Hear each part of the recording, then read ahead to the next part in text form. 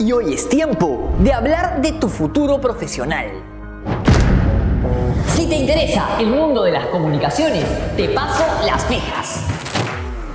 Estudia la carrera de comunicación y medios digitales y disfruta de modernos laboratorios equipados con lo último en tecnología e innovación.